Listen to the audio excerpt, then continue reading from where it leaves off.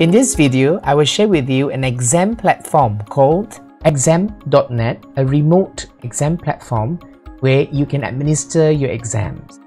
I personally used it for my topical test two a few weeks ago and I find it very easy to use as well as I have a lot of control in my uh, exam paper. So I'd like to share this with you and I hope you uh, may find it useful. As usual, what you need to do is to pull up a Google browser and enter in the URL exam.net. Once you have entered into the exam.net page, you will have to sign in. If you're using this for the first time, click on teacher and sign in using your Google account.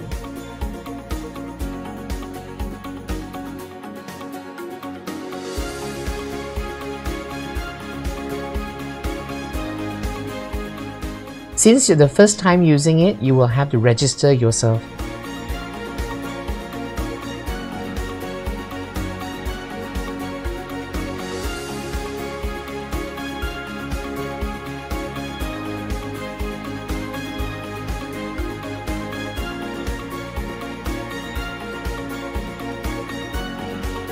Once you have keyed in all the uh, necessary information, then you can register.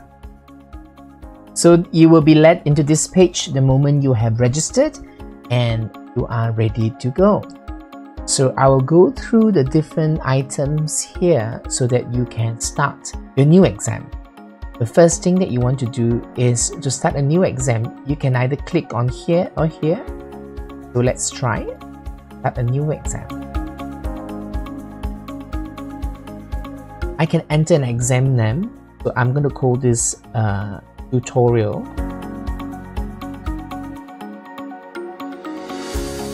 The next thing here is the uh, setting the exam questions. You are given three choices. First choice is when there is no digital exam question. That means actually we give the, the physical exam paper. Um, uh, or you can use a PDF so that would mean for PDF, here it says that you will have already done up your paper and you and then you save it as a PDF and then you can upload it using here. You can choose the PDF and then you can click on open and then it will be uploaded into your exam.net as an exam paper. Okay, so I'm for now I'm just going to close this. And the next one here is to write exam questions. So let's say you can actually write the exam question here on this uh, paper that is given to you. Alright so let's try to I will try to now to start writing an exam paper.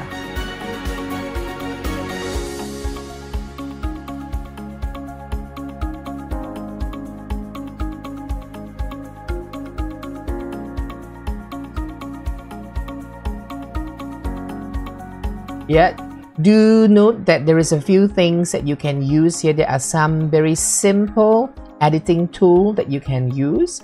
Yep. Firstly, you can choose to choose the different fonts and different styles uh, for your for your question paper, and then uh, you can also align them. Yeah, you can do a bit of alignment if you like. Okay, so maybe I want to leave this one in the center and leave this one to the side okay? And then um, there is some indentation which you can use um, or you can even use the one two three or the ordered list which is uh, quite useful also. Uh, and the different types of uh numbering that you want to use. And then here is the different types of bullets that you may want to consider using. All right and you can do a bit of editing. You can bold it up or italics or underline. And uh, some minor editing to do some subscript or superscript. And of course the font size. Yeah?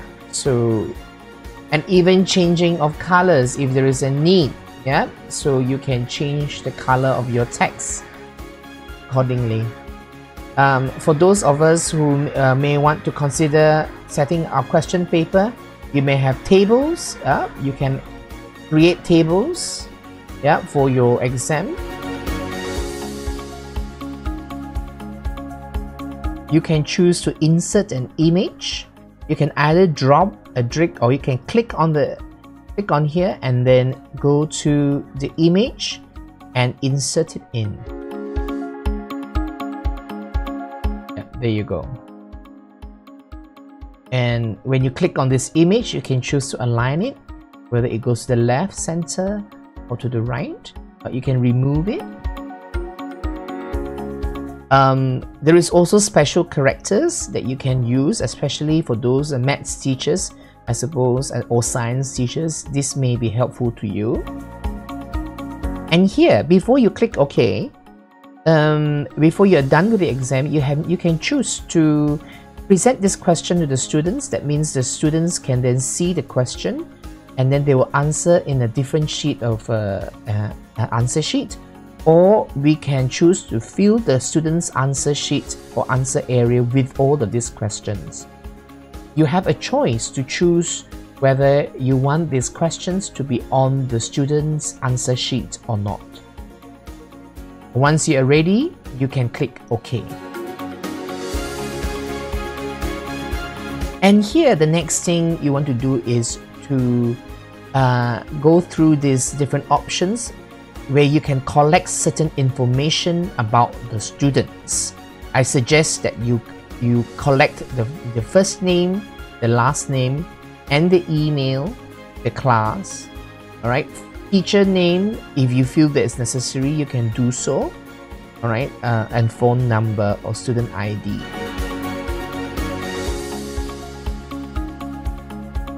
Here, uh, I suggest in our school, we want to know who is sitting for the exam, so please do not toggle this on. Otherwise, you do not know who is sitting for the exam. Okay, so do not toggle it on. Leave it. Yeah, do not touch this. Here, the next thing is where we organize the student's workspace or the student's answer sheet. Right? We give the students the writing area, and in the writing area, we can choose to select if the students can do a spell check. Yeah. So for most of us, maybe we want to give it a no. Yeah. Or if you feel that you want to give the students spell check yes for English, then you can choose that. Do you want to consider giving students the scan handwritten solution with a mobile phone? Yeah. Um, here, what it means is this the students can choose to write their answers on a piece of paper. And then, if I toggle this on, it means that the students can then actually scan their written solutions with a mobile phone and then upload it into the answer sheet. I will show you uh, from the perspective of the students later. Yeah, so if you feel that you the students need this, yeah toggle it on so that they can actually take a photo of their work yeah for some students who do may not have a laptop to work on I actually suggest that it would be good that they can actually write all the answers on a piece of paper and at the end of the exam they can actually scan uh, their paper using their handphone. Next is the other options. Number one, do you want to allow translation help? Uh, if we do not need, do not turn it on. You need uh, them to have English synonyms. If you don't want, don't turn it on. Yeah, speech synthesis, you need that. If you do not need it, don't turn it on. Leave that. And we go to the next is the audio files. Yeah, do you want them to be able to attach audio files? Yeah, this is especially for disabled students, uh, and it may be good if they are given a chance to actually answer the questions using an audio file, but for us, most likely not, right? Under the subject tools, are you going to give the students a chance to do a bit of drawing? Yeah. Uh, or a formula editor?